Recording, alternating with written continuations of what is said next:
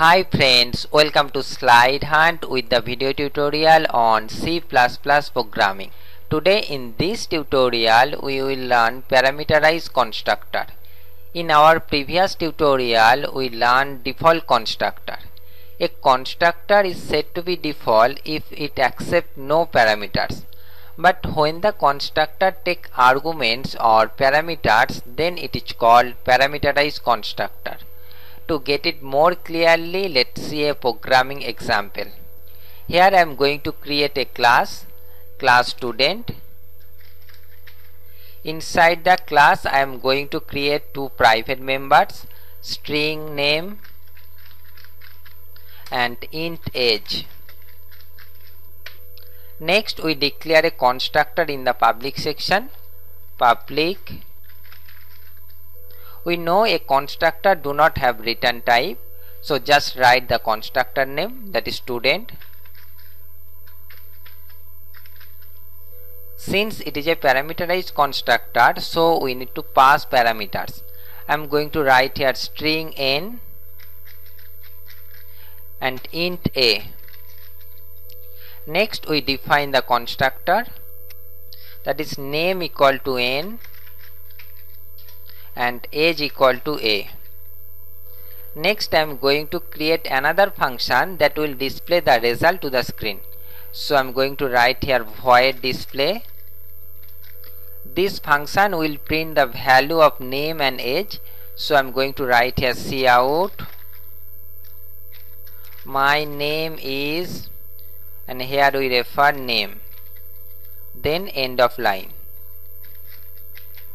next cout my age is here we refer age and then end of line.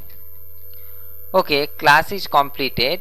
So what we do here? Here we define a parameterized constructor and through parameterized constructor we initialize the private member name and age. Next we see how to call the parameterized constructor Inside the main function I am going to create an object of class student. To do that we need to write the class name that is student and then specify the object name let's say s. In default constructor whenever we create an object class member or variables are automatically initialized but in case of parameterized constructor we need to pass parameters when we create the object so I'm going to write here John and 27 next we need to call the display function. So I'm going to write here s dot display. When we run this program it will print my name is John and my age is 27 let's check the output. Build and run. As you can see here it print my name is John and my age is 27 the next thing is here we specify the value at the time of creation of object. But if you want you can take the value from user at runtime. Let's see how to do it. Here I am going to declare two variables string x and int y. Next I am going to ask user to enter name cout enter name then end of line we read the input using cin so I'm going to write here cin x. Similarly we read the input for age. So I'm going to copy it and paste here. I'm going to write here enter age and here y. Next we need to specify here the name of the variables. So I'm going to write here x comma y.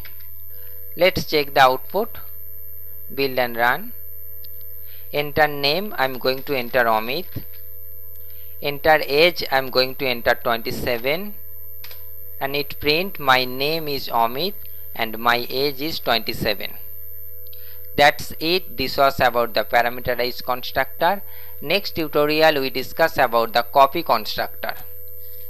Thanks for watching. To watch more videos please subscribe this channel slide hunt you can like my Facebook page at www.facebook.com slash slidehunt and you can follow me on Google Plus at www.google.com slash plus slidehunt.